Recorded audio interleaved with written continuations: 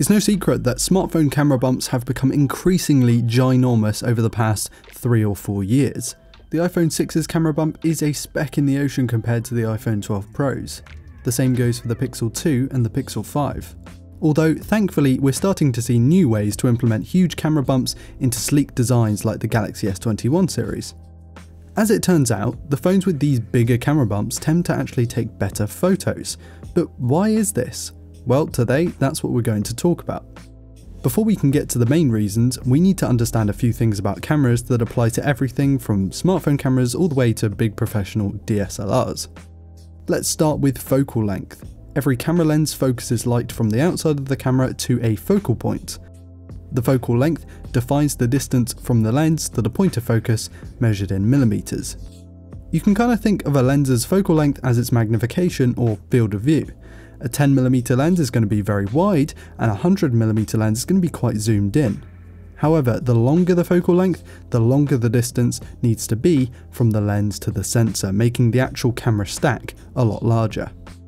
Focal length also affects perspective. Here are a couple of examples that show that perceived distance between objects changes as you zoom in. You will also notice that the longer the focal length, the shallower the plane of focus is. In photography, this is called image compression, not to be confused with file compression, which is something entirely different. Crop factor is also massively important in the field of view of a camera. Crop factor isn't the same as focal length, instead it's all to do with the sensor's physical size and its comparative size to the lens being used, hence the term crop factor. All other factors the same, a smaller sensor has a tighter crop factor, which has the effect of appearing more zoomed in than the larger sensor, some smartphone makers use this trick with their telephoto cameras as it allows the whole camera assembly to be smaller at the cost of low light performance and dynamic range due to the smaller sensor. Now that we understand the basics, we can turn our attention to the big reasons why smartphone camera bumps have grown so much. Firstly, you'll notice that a fair few flagship devices of late have implemented long zoom lenses, sometimes periscope lenses, first introduced to the mainstream with Huawei's P30 Pro. Now, while adding elements and increasing the complexity of lens structures can give a lens more reach, the distance between the lens and the sensor is ultimately the deciding factor when it comes to zoom. The further the distance, the more zoom you get. Periscope lenses are interesting and rather clever because they increase that distance by reflecting light into lens elements oriented in such a way to make use of space inside the device so that you don't have a camera bump that sticks out an inch. However, even with this clever lens setup, camera bumps are still necessary given the periscope setup and the front element needing to be quite large. The second reason why camera bumps have become so huge is the desire for bigger camera sensors. Larger sensors are placed further away from the lens to retain a consistent crop factor, and so the whole stack needs to be larger to accommodate the larger sensor. Remember the Lumia 1020 with its huge sensor and, naturally, the huge camera bump that came with it? Yeah, that's no coincidence, that's just plain physics. As you can imagine, for telephoto cameras this increase in size can be very dramatic and so the camera bump as a whole would need to be huge. Finally, distortion is one of the most important factors because it ultimately affects image quality in a pretty big way. Lenses tend to have a sweet spot where the sensor is cropping in very slightly to minimise distortion at the edges.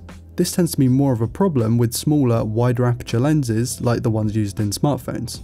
A way around this is to use a slightly wider lens and crop in ever so slightly, but this still means a bigger camera bump due to the bigger distance needed between the lens and the sensor. More expensive, higher quality camera lenses can help, but it's notoriously hard to build compact smartphone camera lenses due to their small size and increased complexity.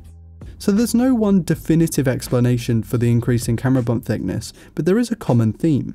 It really does come down to smartphone camera designers fighting against the laws of physics to improve camera capabilities and image quality. Simply put, we want bigger camera characteristics without the bigger cameras.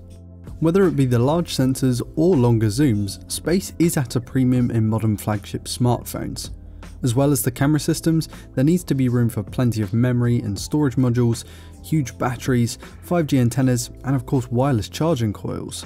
When there's no more room in the phone, smartphone makers need to build out, resulting in these huge camera bumps. Huge thanks to Robert Triggs for writing the original article, which you can find on Android Authority via the link in the video description. Please do check it out, it's a great read, and whilst you're down there, please do hit like and subscribe to never miss a video like this one. And let us know if you learned something today in the comment section. I've been Ryan Thomas with Android Authority, and I'll catch you later.